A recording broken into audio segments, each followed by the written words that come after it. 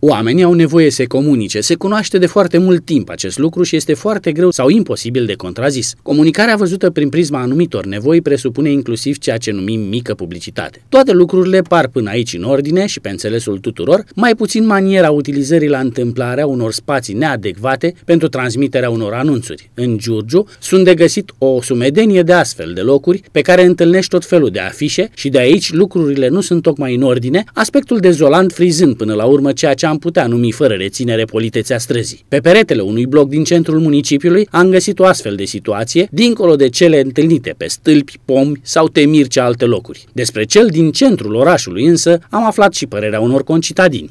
Ce părere aveți despre modul acesta de afișare și despre cum arată peretele acestui bloc? Păi o părere foarte proastă am eu. Se vede urât. Probabil ar trebui amenajate niște spații, niște placarde speciale pentru așa ceva. Deci o părere destul de proastă. E urât. E proțurnată urâtă. Cunoașteți existența unor locuri unde se pot pune astfel de afișe? Da, uite, este panouri din asta de fier care se pun. Dar e vorba că scrie, e, cine lipește, face fațadele blocului urâte. Păi, ce pot să vă spun, nu prea arată bine deloc. Adică, totuși, dacă se pun afișe, măcar să nu apară rupte pe ziduri. Părerea mea, nu știu, acum...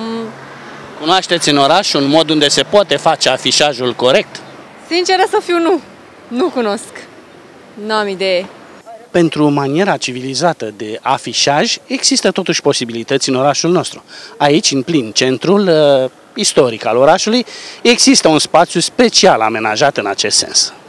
Astfel de panouri special create pot fi găsite și în alte zone ale orașului, parcul Mihai Viteazu, de exemplu, fiind unul dintre acestea. În plus, manierele tehnice noi, utilizate civilizat pentru astfel de anunțuri, sunt la dispoziția celor ce se folosesc de mijloacele mai puțin convenționale, care dau un aspect dezolant străzii și pot aduce necazuri utilizatorilor lor.